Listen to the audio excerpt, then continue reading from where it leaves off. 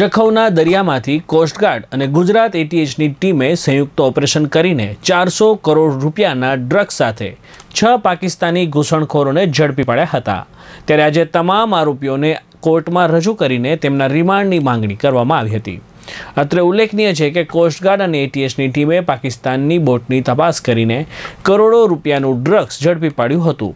સાથે છ શખ્સોની ધરપકડ પણ કરી હતી. ત્યારે આ મામલે આજે તપાસ એજન્સીએ તમામ આરોપીઓના રિમાન્ડની માંગણી સાથે કોર્ટમાં રજૂ કર્યા હતા. એટીએસના ખાસ સરકારી વકીલ કલ્પેશભાઈ ગૌસ્વામીએ આરોપીઓના ચૌદ દિવસના રિમાન્ડની માંગણી કરી હતી. ત્યારે ખાસ જજ સીએમ પવારે આરોપીઓના એક એક બે હજાર બાવીસના સાંજે પાંચ કલાક સુધીના રિમાન્ડ મંજૂર કર્યા છે. એટીએસ ગુજરાત અને ઇન્ડિયન કોસ્ટગાર્ડના સંયુક્ત ઓપરેશનમાં જે છ પાકિસ્તાનીઓને જખૌના મધ્યરેથી ઇન્ટરસેપ્ટ કરી અને ત્રણસો ચોર્યાસી કરોડ અને અડસઠ લાખનો જે જંગી માત્રામાં હેરોઇનનો જથ્થો, છોતેર હજાર નવસો ને છત્રીસ કિલોગ્રામનો જે મળ્યો, એ બાબત આજે એટીએસ ગુજરાત તરફથી અમે કચ્છની સ્પેશિયલ એનડીપીએસ કોર્ટમાં છ આરોપીઓને રજૂ કર્યા. રિમાન્ડની માંગણી કરી.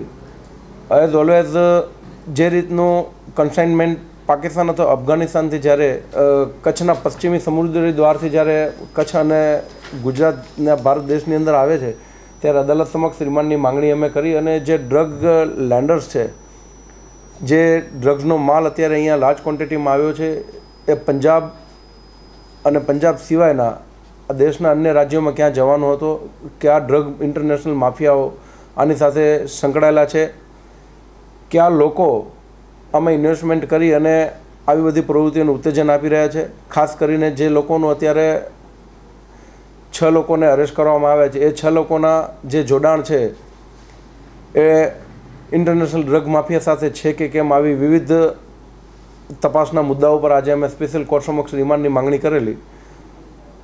અમને સ્પેશિયલ કોર્ટે અગિયાર દિવસના રિમાન્ડ મંજૂર કર્યા છે.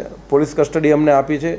એક એક બે હજાર બાવીસ સાંજે પાંચ વાગ્યા સુધી છ આરોપીઓના પોલીસ કસ્ટડી અમને મળી છે, રિમાન્ડ અમને આપ્યા છે. ઇન્ટેલિજન્સની અંદર પંજાબમાં મૂકવાનું હતું એવું એક ઇન્ટેલિજન્સના ઇનપુટમાં એટીએસ ગુજરાતને મળ્યું હતું.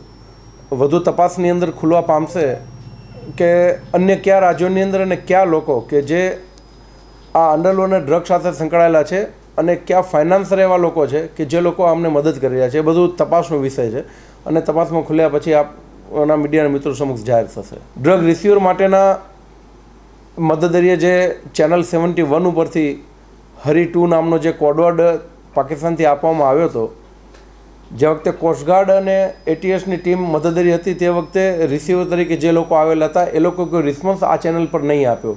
એની તપાસ ચાલી રહી છે કે જે લોકો ઇન્ટેલિજન્સ પ્રમાણે પંજાબથી હતા કે અન્ય કોઈ રાજ્યથી હતા, એ ડ્યુરિંગ ઇન્વેસ્ટિગેશન ખ્યાલ આવશે.